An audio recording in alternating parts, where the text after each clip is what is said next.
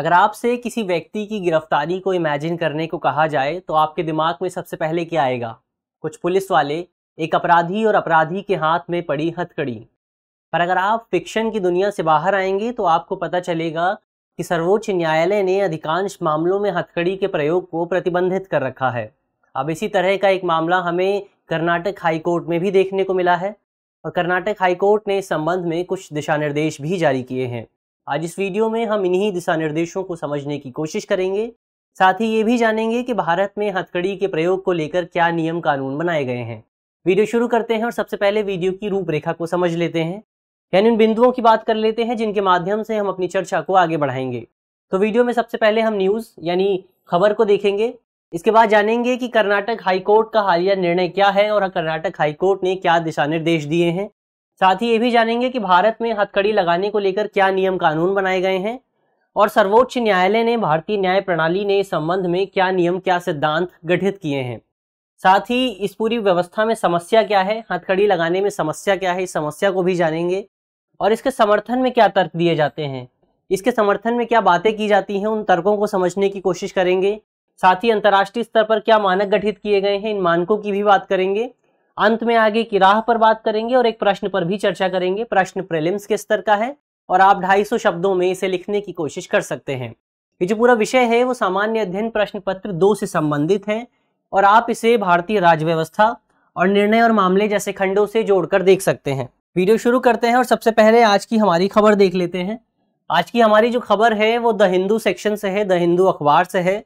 खबर है handcuffing, a judicial tape and the long arm of the law.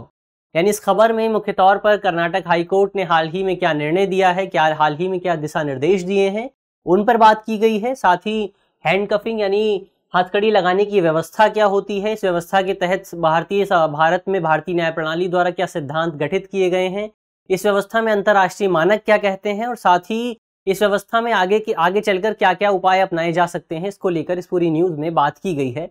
आगे बढ़ते हैं और सबसे पहले जान लेते हैं कि आखिर कर्नाटक हाईकोर्ट का यह हालिया निर्णय है क्या? तो कर्नाटक हाईकोर्ट ने हाल ही में सुप्रीत ईश्वर दिवाते बनाम कर्नाटक राज्य के एक विवाद में अपना हालिया निर्णय दिया है और इस हालिया निर्णय में हथकड़ी लगाने पर महत्वपूर्ण कुछ फैसले दिए गए हैं। दरअसल बीते दिनों कर्नाटक में पराक्रम में लिखित अधिनियम 1881 के तहत एक लॉ स्टूडेंट को, एक विधि के छात्र को गिरफ़्तार किया गया था।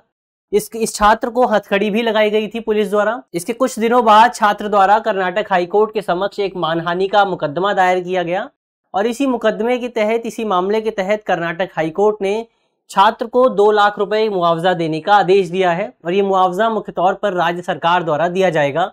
हालाँकि कर्नाटक हाईकोर्ट ने स्पष्ट किया है कि अगर राज्य सरकार चाहे तो वह अपराधी पुलिस अफसर से यह राशि वसूल सकती है, यानी जिस व्यक्ति ने, जिस पुलिस अफसर ने छात्र को हथकड़ी लगाई थी, उससे यह राशि ली जा सकती है। इसके अलावा कर्नाटक हाईकोर्ट द्वारा इस संबंध में कुछ दिशा निर्देश कुछ गाइडलाइंस भी दी गई हैं। इन गाइडलाइंस की बात करें, इन दिशा निर्देशों की बात करें तो इसमें सबसे पहला और सबसे महत्वपूर्ण निर्देश ये है कि किसी भी व्यक्ति को हथकड़ी नहीं लगाई जाएगी बिना किसी वजह के। और अगर हथकड़ी लगाने की ज़रूरत भी पड़ती है, उसकी आवश्यकता भी पड़ती है तो इस संबंध में हथकड़ी लगाने के कारण को लिखित तौर पर रिकॉर्ड किया जाना ज़रूरी है। इसके अलावा हथकड़ी से संबंधित जाँच की ज़िम्मेदारी संबंधित न्यायालय की होगी। यानी उस अपराधी को, उस व्यक्ति को जिस भी न्यायालय के समक्ष प्रस्तुत किया जाना है, इस संबंधित जाँच की ज़िम्मेदारी उस न्यायालय की होगी। यानी वो न्यायालय यह तय करेगा कि हथकड़ी लगाना वैध था लीगल था या नहीं। इसके अलावा पुलिस प्रशासन में रिक्त पदों को भरने का भी आदेश दिया गया है। हाईकोर्ट ने कहा है कि कर्नाटक राज्य में पुलिस पुलिस विभाग में लोगों की कमी है, जनशक्ति की, कार्यबल की कमी है, जिसके कारण पुलिस क्षमता काफ़ी कमज़ोर है। ऐसे में पुलिस विभाग में जो भी रिक्तियाँ हैं, उनको भरने की ज़रूरत है, ताकि पुलिस प्रशासन की, पुलिस प्रशासन को और ज़्यादा मज़बूत किया जा सके। तो ये तो हुई कर्नाटक हाईकोर्ट के हालिया क्या डिसीजंस हैं, क्या क्या गाइडलाइंस आई हैं? अब बात कर लेते हैं कि भारत में संबंध में कानून क्या कहते हैं। तो भारत में संबंध में दो कानून सबसे ज़्यादा महत्वपूर्ण है। पहला है दंड प्रक्रिया संहिता उन्नीस सौ तिहत्तर और दूसरा है कारागार अधिनियम अठारह सौ चौरानवे। दंड प्रक्रिया संहिता उन्नीस सौ तिहत्तर यानी सीआरपीसी 1973 की धारा उनचास के मुताबिक गिरफ़्तार व्यक्ति पर अनावश्यक प्रतिबंध लागू नहीं किए जाने चाहिए। यानी जिस भी व्यक्ति को गिरफ़्तार किया गया है, उसकी सुरक्षा सुनिश्चित करने और उसे भागने से रोकने के लिए जितने भी प्रतिबंधों की ज़रूरत है, जितने भी रिस्ट्रिक्शंस की ज़रूरत है, उससे ज़्यादा रिस्ट्रिक्शंस लागू नहीं किए जाने चाहिए। उस पर अननेसेसरी प्रतिबंध नहीं लगाए जाने चाहिए। इसके अलावा कारागार अधिनियम अठारह सौ चौरानवे की धारा छियालीस सात के मुताबिक किसी व्यक्ति को जेल में किए गए अपराधों के लिए हथकड़ी लगाई जा सकती है। हालाँकि इसके भी कुछ एक्सेप्शन हैं कुछ अपवाद हैं। इस तरह के इस, इस धारा के मुताबिक महिला कैदियों को और सिविल कैदियों को हथकड़ी नहीं लगाई जा सकती। इसके अलावा इसी अधिनियम की धारा छप्पन के मुताबिक जेल अधीक्षक राज्य सरकार के नियमों के मुताबिक किसी किसी भी कैदी को अन्य कैदियों की सुरक्षा सुनिश्चित करने के लिए हथकड़ी लगा सकता है। यानी अगर जेल अधीक्षक को लगता है कि कोई कैदी इतना खतरनाक है कि वो वो उस, उस, उस पूरी जेल के अन्य कैदियों के लिए खतरा उत्पन्न कर सकता है तो उस कैदी पर उस कैदी को हथकड़ी लगाई जा सकती है। इस इस पूरी अधिनियम के मुताबिक इस धारा के मुताबिक। अब बात कर लेते हैं कि भारतीय न्याय प्रणाली द्वारा भारतीय सर्वोच्च न्यायालय द्वारा किस तरह के नियम किस तरह के सिद्धांत इस संबंध में गठित किए गए हैं। तो इस संबंध में जो सबसे महत्व सबसे पहला मामला है वो है 1978 का सुनील बत्रा बनाम दिल्ली प्रशासन का मामला। इस मामले में सर्वोच्च न्यायालय ने कहा था कि हथकड़ियाँ या बेड़ियाँ लगाना अनुच्छेद 21 के तहत मानवीय गरिमा का उल्लंघन है। आपको मालूम होगा कि भारतीय संविधान का अनुच्छेद 21 सभी लोगों को गरिमापूर्ण जीवन जीने का अधिकार प्रदान करता है, लेकिन जब इस तरह की, इस तरह की लोगों को बेड़ियाँ लगाई जाती हैं, हथकड़ियाँ लगाई जाती हैं तो वो उनके गरिमापूर्ण जीवन जीने का अधिकार का उल्लंघन माना जाएगा। ऐसे में सर्वोच्च न्यायालय ने कहा था कि इस तरह के उपकरणों का, इस तरह की प्रथा का उपयोग केवल कुछ विशेष मामलों तक ही होना चाहिए कुछ इस, इसके उपयोग को काफ़ी सीमित किया जाना चाहिए केवल कुछ चुनिंदा मामलों में ही हथकड़ी का उपयोग किया जाना चाहिए। इसके बाद आया साल 1980 का प्रेम शंकर शुक्ला बनाम दिल्ली प्रशासन का मामला। इस मामले में हथकड़ी के प्रयोग को लेकर और भी कुछ दिशा निर्देश जारी किए गए। इस मामले में सर्वोच्च न्यायालय ने कहा कि हथकड़ी का प्रयोग हथकड़ी लगाना पूर्णतः अमानवीय है और अनुचित और कठोर है। ऐसे में हथकड़ी को केवल एक अंतिम उपाय के रूप में, एक लास्ट रिजॉर्ट के रूप में उपयोग किया जाना चाहिए और इसको एक नियमित व्यवस्था के तौर पर प्रयोग नहीं किया जाना चाहिए। यानी लगभग सभी मामलों में हथकड़ियों का उपयोग नहीं किया जाना चाहिए। इसका उपयोग केवल कुछ सीमित मामलों में किया जाना चाहिए। कब इसका उपयोग कर सकते हैं? इसका उपयोग केवल ऐसे मामलों में किया जाना चाहिए जहाँ अपराधी को भागने से रोकने के लिए कोई अन्य तरीका मौजूद ना हो। इसके अलावा अगर हथकड़ी लगाने की ज़रूरत भी पड़ती है तो पीठासीन जज को कारण बताना ज़रूरी है। साथ ही उस पीठासीन जज से मंजूरी लेना भी आवश्यक होता है। बिना जज की मंजूरी के, बिना न्यायालय की अनुमति के किसी भी व्यक्ति को हथकड़ी नहीं लगाई जा सकती है। इसके अलावा इस संबंध में उन्नीस का सिटीजन फॉर डेमोक्रेसी बनाम असम राज्य का विवाद भी काफ़ी महत्वपूर्ण है। इस विवाद में सर्वोच्च न्यायालय ने पिछले दो विवादों के में जो दिशा निर्देश दिए गए थे, उनकी पुष्टि की थी और साथ ही ये भी कहा था कि जबरन हथकड़ी लगाना किसी भी व्यक्ति को जबरन तौर पर हथकड़ी नहीं लगाई जा सकती है। किसी भी व्यक्ति को हथकड़ी पहनने के लिए मजबूर नहीं किया जा सकता है। साथ ही पुलिस और जेल प्रशासन का आदेश नहीं है। यानी हथकड़ी लगाने का आदेश पुलिस प्रशासन या जेल प्रशासन द्वारा जारी नहीं किया जा सकता। बल्कि हथकड़ी के संबंध में जो भी आद, जो भी आदेश देने का अधिकार है वो केवल न्यायालय के पास है। केवल न्यायालय ही संबंध में केवल कोर्ट ही संबंध में आदेश जारी कर सकता है। तो ये तो हुई कि भारतीय दंड भारत में भारतीय न्याय प्रणाली द्वारा क्या सिद्धांत गठित किए गए हैं? अब आगे बढ़ते हैं और जान लेते हैं कि आखिर इसमें समस्या क्या है। यानी हथकड़ी लगाने में, हथकड़ी लगाने की व्यवस्था में समस्या क्या है? तो समस्या यही है कि आलोचकों का कहना है कि इस तरह की व्यवस्था लोगों के मौलिक अधिकारों का उल्लंघन करती है। हमने पहले ही देखा कि भारतीय संविधान के अनुच्छेद 21 के तहत गरिमापूर्ण जीवन जीने का अधिकार सुनिश्चित किया गया है, लेकिन यह हथकड़ी लगाने की व्यवस्था इस अधिकार का उल्लंघन करती है। इसके अलावा अगर किसी व्यक्ति को कानून का पालन किए बिना हथकड़ी लगाई जाती है, सर्वोच्च न्यायालय के आदेशों का पालन किए बिना हथकड़ी लगाई जाती है, सर्वोच्च न्यायालय द्वारा जो निर्देश दिए गए हैं, उनका पालन नहीं किया जाता है तो ये ज़ाहिर तौर पर भारतीय संविधान के अनुच्छेद 14 का उल्लंघन होगा, क्योंकि भारतीय संविधान के अनुच्छेद 14 में सभी व्यक्तियों को कानून के समक्ष समानता सुनिश्चित की गई है। इसके अलावा अगर किसी व्यक्ति को धर्म, नस्ल, जाति या लिंग या जो उसके जन्म स्थान के आधार पर हथकड़ी लगाई जाती है तो इसे भारतीय संविधान के अनुच्छेद 15 का उल्लंघन माना जाएगा। इसके अलावा कई जानकार, कई आलोचक ये भी कहते हैं कि हथकड़ी लगाने की व्यवस्था अमानवीय, निरंकुश और मानवीय गरिमा के खिलाफ है। ऐसे में इसे बुनियादी मानवाधिकारों, जो बेसिक ह्यूमन राइट्स हैं, उनका भी उल्लंघन माना जाता है। उनके भी खिलाफ इसे माना जाता है।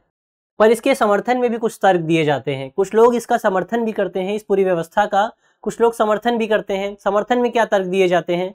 समर्थकों का कहना है कि हथकड़ी एक मनोवैज्ञानिक उपकरण है, एक साइकोलॉजिकल डिवाइस है, जो न केवल कैदियों को पुलिस हिरासत से भागने से रोकती है, बल्कि यह भी सुनिश्चित करती है कि कैदी पुलिस पर हमला न कर सके।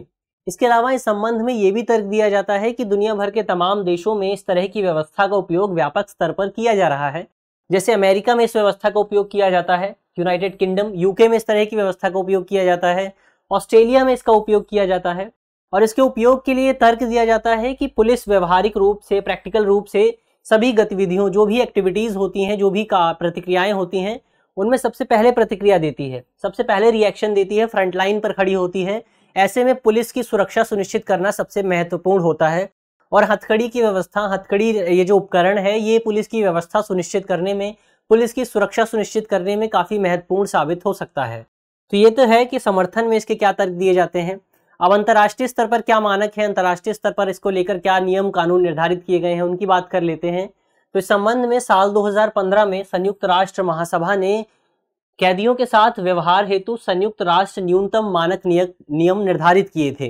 इन नियमों को नीलसन मंडेला नियमों के नाम से भी जाना जाता है। इन नियमों के तहत कैदियों के साथ किस तरह का व्यवहार किया जाए, इसको लेकर नियम और कानून प्रावधान निर्धारित किए गए हैं। इसी का एक नियम है, नियम सैंतालीस नियम सैंतालीस कहता है कि जंजीर, लोहे या अन्य उपकरणों का उपयोग जो कि अपमानजनक या फिर दर्दनाक हो सकते हैं इस तरह के उपकरणों का उपयोग प्रतिबंधित किया जाना चाहिए रिस्ट्रिक्टिव किया जाना चाहिए। इस तरह के उपकरणों के उपयोग पर प्रतिबंध लगाया जाना चाहिए। हालाँकि इसी नियम का एक उपनियम भी है, जिसके मुताबिक आवश्यकता पड़ने पर इस तरह के उपकरणों का उपयोग किया जा सकता है। यानी अगर कैदी की सुरक्षा सुनिश्चित करनी है या फिर कैदी को भागने से रोकना है या फिर पुलिस वालों की सुरक्षा सुनिश्चित करनी है तो इस तरह के उपकरणों का उपयोग किया जा सकता है। इस तरह के उपकरणों के उपयोग के माध्यम से कैदियों को रोका जा सकता है। तो ये तो हुई अंतर्राष्ट्रीय स्तर पर क्या मानक निर्धारित किए गए हैं, क्या नियम कानून बनाए गए हैं, उनकी बात की हमने। अब इस संबंध में एक सबसे महत्वपूर्ण सवाल ये भी है कि आखिर अगर किसी व्यक्ति के इस तरह के अधिकारों का उल्लंघन होता है तो इस संबंध में मुआवजा किसके द्वारा दिया जाएगा? इस संबंध में जो भी पैसे दिए जाने हैं, जो भी मुआवजा दिया जाना है, वो कौन देगा? राज्य सरकार द्वारा मुआवजे का भुगतान किया जाएगा, या फिर दोषी, उस दोषी अधिकारी द्वारा मुआवजे का भुगतान किया जाएगा जिसने हथकड़ी लगाई थी। तो इस संबंध में साल उन्नीस सौ इक्यानवे में सर्वोच्च न्यायालय द्वारा महाराष्ट्र राज्य बनाम रविकांत एस पाटिल का मामला काफ़ी चर्चित है। ये मामला असल में सबसे पहले बॉम्बे हाईकोर्ट के पास गया था, और बॉम्बे हाईकोर्ट ने हथकड़ी लगाने का, हथकड़ी लगाने के जुर्म में अनुच्छेद 21 का उल्लंघन माना था, और दोषी पुलिस अधिकारी को दस हज़ार मुआवजा देने का आदेश दिया था। इसके बाद ये मामला सर्वोच्च न्यायालय के पास गया और सर्वोच्च न्यायालय ने हालाँकि जो बॉम्बे हाईकोर्ट का डिसीज़न था, जो निर्णय था, उसको तो बरकरार रखा। लेकिन सर्वोच्च न्यायालय ने यह भी ऐड किया कि पुलिस अधिकारी व्यक्तिगत रूप से इस पूरे इस पूरे मुआवजे के लिए जिम्मेदार नहीं है, उत्तरदायी नहीं है और वो केवल अपनी आधिकारिक क्षमता में ही ऑफिशियल कैपेसिटी में ही काम कर रहा था। तो इस तरह से सर्वोच्च न्यायालय ने स्पष्ट किया था कि मुआवजे के भुगतान की ज़िम्मेदारी राज्य सरकार की होगी। ये तो हुई कि मुआवजे का भुगतान किसके द्वारा किया जाएगा? अब अंत में आगे किराह पर बात कर लेते हैं, निष्कर्ष पर बात कर लेते हैं। तो निष्कर्ष के तौर पर हम कह सकते हैं कि आवश्यक बुनियादी ढांचे के अभाव में गैर अनुपालन यानी नॉन कंपाइलेंस की ज़िम्मेदारी केवल पुलिस पर नहीं डाली जा सकती। ये ज़िम्मेदारी राज्य सरकार की भी है। राज्य सरकार भी इस संबंध में जिम्मेदार है। कई बार ये देखा जाता है कि जेल अधिकारियों के पास पर्याप्त क्षमता ही मौजूद नहीं होती, पर्याप्त पुलिस अधिकारी ही मौजूद नहीं होते।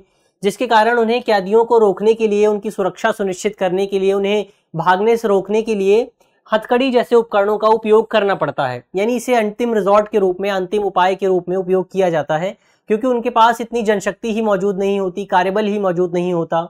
ऐसे में ये ज़रूरी है कि पुलिस विभाग में जितनी भी अतिरिक्त जनशक्ति की आवश्यकता है, जितने भी खाली पद पड़े हुए हैं, उन्हें जल्द से जल्द भरा जाए, ताकि पुलिस विभाग की क्षमता को और ज़्यादा मज़बूत किया जा सके। इसके अलावा पुलिस अधिकारियों को आधुनिक उपकरण दिए जाने की भी ज़रूरत है। आधुनिक उपकरण जैसे बॉडी कैमरा दिया जा सकता है। तो इस तरह के आधुनिक उपकरणों के माध्यम से भी जो कैदी हैं, उनकी सुरक्षा सुनिश्चित की जा सकेगी, उन्हें रोकने से, उन्हें भागने से रोका जा सकेगा। इसके अलावा पुलिस अधिकारियों को ये सुनिश्चित करने की ज़रूरत है कि संबंध में सर्वोच्च न्यायालय द्वारा जो दिशा निर्देश दिए गए हैं, उन दिशा निर्देशों का पालन सुनिश्चित किया जाए। ये तो हुई आगे की राह की बात। अब आगे बढ़ते हैं और सबसे पहले अंतिम में एक प्रश्न पर बात कर लेते हैं। प्रश्न मेंस का है और आप 250 शब्दों में इसे लिखने की कोशिश कर सकते हैं। प्रश्न है कि हथकड़ियों और बेड़ियों जैसे उपकरणों का प्रयोग गरिमापूर्ण जीवन के मौलिक अधिकार का उल्लंघन है। आपको इस कथन का समालोचनात्मक मूल्यांकन करना है। यानी इस कथन इस पूरे प्रश्न में सबसे पहले आपको बताना है कि किस तरह से हथकड़ी या बेड़ियों का उपयोग गरिमापूर्ण जीवन के मानवीय अधिकार का उल्लंघन करता है, मौलिक अधिकार का उल्लंघन करता है। आपको इसके पक्ष और विपक्ष में तर्क देने हैं। इसके अलावा आप प्रिलिम्स के स्तर पर कमेंट बॉक्स में ये बता सकते हैं कि नीलसन मंडेला नियम किससे संबंधित हैं और इन नियमों को कब लागू किया गया था, अंतर्राष्ट्रीय स्तर पर कब अपनाया गया था। मुझे आशा है कि इस वीडियो के माध्यम से जिन भी बिंदुओं पर चर्चा की गई है, वो आपको समझ में आएँगे और अगर आपके प्रश्न पत्र में इससे संबंधित कोई भी सवाल आता है तो आप उसे आसानी से हल कर सकेंगे। धन्यवाद।